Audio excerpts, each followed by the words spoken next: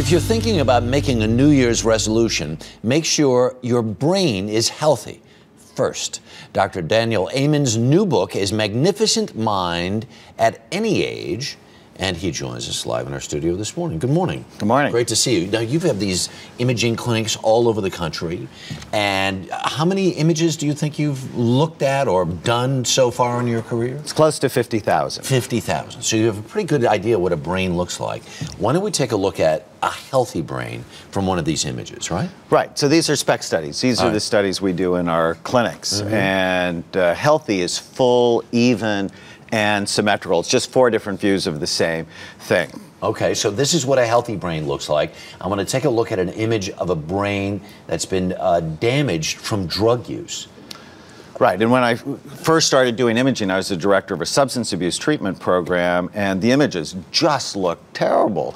And we have a poster that hangs down about 50,000 schools with these images. The real reason not to use drugs is they damage your brain. Does it, uh, does it, it from, from this image, it looks like the brain has literally been eaten away. Is that... Well, these are blood flow images. So okay. what it means is there's low overall blood okay. flow so to the brain. these are literal dead spots then. They're not dead spots. They're low, low in ac- okay. Activity. All and if you stop mm-hmm. and get on a brain healthy program, this the brain can, can get from, much better. Really? Okay, that's very all right. Let's look at stroke then also because there's a sort of a similar sort of effect. Is it certain areas of the brain then that are particularly affected? Well, actually here on the left side of the brain, you can see this hole. Now, yeah. this is a hole. I mean, stroke is dead tissue. Right. But around the dead tissue is tissue that struggles mm-hmm. that you can actually invigorate and make right. better. Okay. And finally, brain trauma. This is like blunt blunt, blunt force, that sort of thing, car accident? Well, this is a soldier okay. whose brain was damaged in Iraq. Right. And the exciting thing is you can see the damage on the left. Mm-hmm. Three months later, on the right treatment,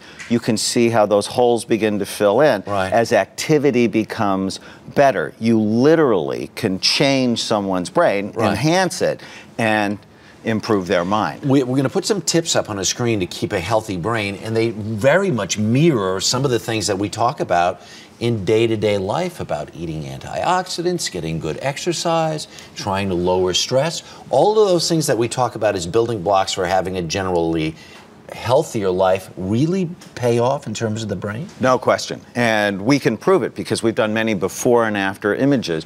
When people change their lifestyle mm-hmm. in, in, a good way, when right. they drink less, exercise more, right. learn new things, yes. take fish oil, it makes a huge, significant difference in their life. And your brain is the foundation for your mind. With a better brain, no mm-hmm. matter what your age, yeah. your mind is better. The, the, we, in, in the hour version of of this, which people can see on their local public television station right now, one of the things you talk about for older people, what's the what should you be doing as you get older in order to keep your brain healthy? Learn new things, and the thing I like the best is learn dancing, because those dance steps involved with coordination, exercise, music, all things great for your brain. There you go, Dr. Amen. Thank you very much for joining us this morning.